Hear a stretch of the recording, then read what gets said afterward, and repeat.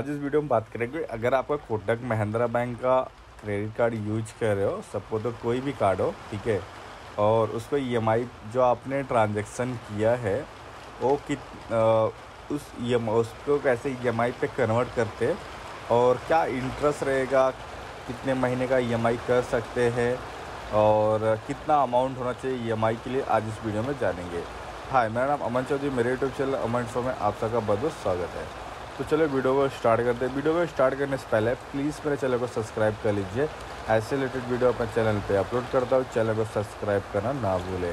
तो चलो वीडियो को स्टार्ट करते हैं।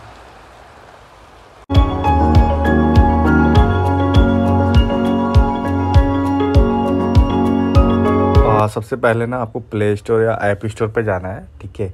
और वहाँ से कोटक महिंद्रा बैंक का eight one one mobile app download करना है।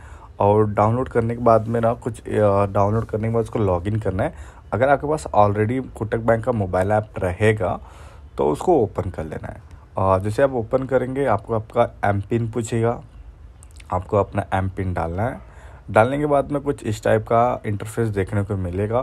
तो आपको यहाँ पे लोन के नीचे कार्ड रहेगा। कार्ड पे आपको क्लिक कर लेना है। क्रेडिट कार्ड पे क्लिक कर लेना है। क्रेडिट कार्ड पे जैसे क्लिक करोगे, कुल क्रेडिट कार्ड का ऑप्शन मल्टीपल्स ऑप्शन आपको दिखाई देंगे यहाँ पे। ठीक है? तो यहाँ पे ना कार्ड ओवरऑल व्यू पे क्लिक करना है। जैसे कार्ड आप ओवरऑल व्यू पे क्लिक करेंगे, आपको पूछेगा आपका एम पिन तो आपको अपना एम पिन डालना है एंड डालने के बाद में ये लॉगिन हो जाएगा। ठीक है? तो आपका ना आउटस्टैंडिंग आपको यहाँ पे कार्ड दिखाई देगा। यहाँ पे उसके सर्विस रिलेटेड कुछ ऑप्शन आपको दिखाई देंगे। उसके नीचे ना आपको आउटस्टैंडिंग बैलेंस आपको दिखाई देगा, ठीक है? तो जो भी आपका आउटस्टैंडिंग है, वो यहाँ पे आपको दिखाई देगा, जहाँ पे लिखा है छब्बीस सौ सैंतालीस सैंतालीस रुपया बारह पैसा, वो आपका आउटस्टैंडिंग है, ठीक है? उसके नीचे लिखा है अलेबल क्रेडिट लिमिट और उसके नीचे लिखा है अपकमिंग अपकमिंग पेमेंट ठीक है? तो यहाँ पे जो ड्यू डेट है, वो आपको यहाँ पे दिखाई देगा ड्यू डेट ऑन सत्रह सितंबर 2023 ठीक है? तो ये आपको यहाँ पे कुछ इस टाइप का इंटरफेस ऐसे कुछ देखने को मिलेगा। अब भी ना, यहाँ पे जो अपकमिंग पेमेंट है ना, यहाँ पे पच्चीस सौ रुपया होना चाहिए। अगर आपके पास पच्चीस सौ रुपये यहाँ पर अगर दिख रहा है ना तो आप इजीली ई e पे कन्वर्ट कर सकते ठीक है? तो मेरे में पाँच सौ पाँच सौ बयालीस रुपये दिख रहा है बट फिर भी एक बार ट्राई करने में क्या जाता है तो हम ट्राई करेंगे, ठीक है? तो हमें यहाँ से ना नेक्स्ट बैग जाना है। बैग जाने के बाद इस कार्ड के जहाँ पे मल्टीपल्स ऑप्शन दिख रहे थे उसी पेज पे फिर से आ जाना है। तो आने के बाद यहाँ पे कन्वर्ट टू ई पे क्लिक करना है। जैसे आप ई पे क्लिक करोगे तो यहाँ पर लिखा है कार्ड ट्रांजेक्शन टू ई ठीक है? Convert your purchase into easy E ठीक है? और, और इसके नीचे यहाँ पे लिखा है convert any recent purchase worth पच्चीस सौ एंड एबो पच्चीस सौ मिनिमम पच्चीस सौ होना चाहिए मैक्सिमम कितना भी हो। जितना आपके कार्ड की लिमिट है सपोज़ दैट उतना अगर आप यूज़ कर लियो तो अभी आप ईजी ई पे कन्वर्ट कर सकते हैं, ठीक है?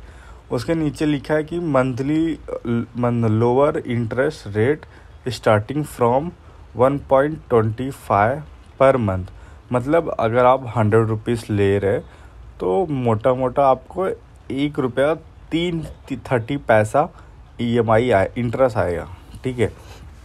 सौ रुपये पे। तो जितना अमाउंट होगा, उसका एक परस डेढ़ मतलब ये वन वन परसेंट थर्टी पैसा इंटरेस्ट आपको उसमें ये लगाया जाएगा उस पर। तो जो भी कॉस्ट होगा, वो आपको देख, एक बार कैलसी कर लेना कितना आ रहा है, ठीक है? एंड यहाँ पे फिक्सेबल टर्न मतलब term ranging from three to forty eight month तो मैंने इसके नीचे यहाँ पे लिखा है तीन महीने का ईएमआई आप कर सकते सिक्स मंथ कर सकते नौ महीने का कर सकते ठीक है? बारह महीने का चौबीस महीने का छत्तीस महीने का और फोर्टी एट मंथ का। तो मल्टीपल्स ऑप्शन है कोई भी एक मन, आपको मंथ सिलेक्ट करके करना है ठीक है? एंड जैसे आप यहाँ अप्लाई नाउ पे क्लिक करेंगे और अप्लाई नाउ पे क्लिक करने के बाद में ना यहाँ पे आपका कार्ड नंबर शो करेगा जो कार्ड आपके पास रहेगा और यहाँ पे आपको अमाउंट शो करेगा। यहाँ पे आपको जो आपने यूज़ किया रहेगा ना, वो स्पेंड अमाउंट आपको यहाँ पे दिखाई देगा। और यहाँ पे मंथ रहेगा और यहाँ पे ना कितने महीने का करना है। आपको वो आपको यहाँ पे सिलेक्ट करना है। तो वहाँ पे ऐसे ऑप्शन आएँगे, तीन महीने छः महीने, नौ महीने, बारह महीने, अठारह महीने, छत्तीस महीने, बयालीस महीने। तो जो भी ऑप्शन आप सिलेक्ट करोगे सपोज़ दैट आपने सिक्स मंथ का सिलेक्ट कर लिया। और सिक्स मंथ का क्लिक करने के बाद ना, यहाँ नीचे लिखा गया है कन्फर्म और जैसे आप कन्फर्म करोगे ना तो आपको एक ओटीपी रिसीव होगा आपको एक कोटक बैंक से कोड रिसीव होगा उसको डालना है डालने के बाद सबमिट करना है जैसे आप सबमिट करेंगे आपका ई एम आई पे कन्वर्ट हो जाएगा ठीक है बट मेरा इसलिए नहीं आ, नहीं हुआ क्योंकि convert to E M I no transaction found which in J greater than I N R twenty five rupees मतलब जो इंडियन रुपीज़ जो मतलब मेरा पैसा है, वो पच्चीस सौ रुपया मैंने स्पेंड नहीं किया। इसके लिए मुझे यहाँ पे कोई ट्रांजेक्शन फाउंड नहीं हुआ है, ठीक है? तो इसके लिए मैंने ईजी ई पे कन्वर्ट नहीं कर पाया। तो यही एक प्रोसेस था। आप ईजी ई पे कन्वर्ट कर सकते हैं। इसका रेट ऑफ़ इंटरेस्ट एक बार कैलची कर लेना कि कितना आ रहा है हर महीने। अगर आपको ज़्यादा जा एक्स्ट्रा जा रहा है तो मत करना। और अगर नहीं जा मतलब लगता है कि नहीं यार, बहुत ज़्यादा जा रहा है मतलब सिर्फ़ लोअर ही है, क्योंकि अगर हम पर्सनल लोन लेते तो अठारह परसेंट, बारह परसेंट, तेरह परसेंट भरते हैं हर महीने। बट अगर हम कार्ड से पेमेंट करें तो जो इस पर जो जो भी उस पर इंटरेस्ट आएगा, वो डेढ़ रुपये वन थर्टी पैसा है मतलब ये सौ रुपये में ती, एक, सौ रुपये में एक रुपया तीस पैसा आपको चार्ज लगा रहा है तो ठीक ही लगा रहा है। एक बार देख लेना अपने हिसाब से, ठीक है?